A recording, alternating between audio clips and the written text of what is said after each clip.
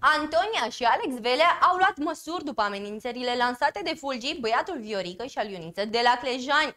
Artiștii nu au stat cu mâinile în sân și au angajat doi bodyguards celebri pentru protecția 24 din 24 a familiei, în special a copiilor. În ultima perioadă, Fulci a avut mai multe derapaje la adresa lui Alex Velea și a familiei sale.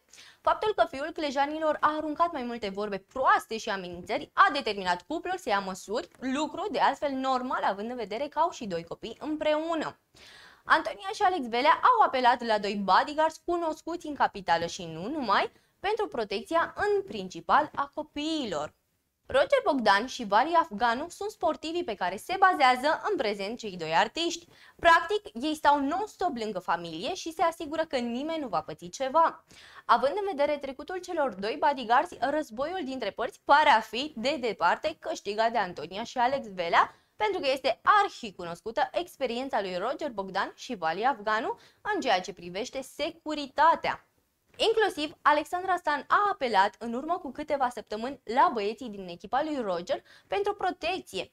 Roger Bogdan este cunoscut în lumea mondenă drept bodyguardul vipurilor, fiind de-a lungul timpului responsabil cu securitatea în mai multe cluburi de lux din capitală. Este instructor și expert în arte stradale. În București și nu numai, Roger Bogdan este un personaj respectat grație și fizicului de invidiat.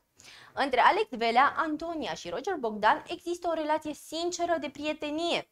De altfel, cei doi artiști sunt parteneri de antrenament cu cel cunoscut drept bodyguardul vipurilor.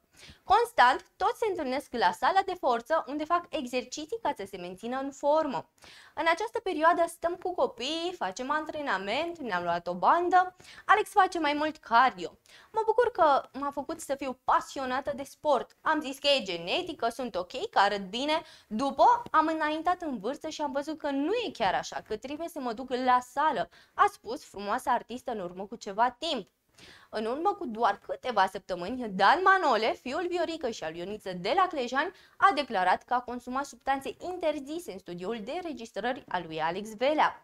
A fost momentul în care cei doi artiști au început un schimb de replici dur. Alex Velea mi-a adus iarbă, la el am fumat. Ăsta e adevărul.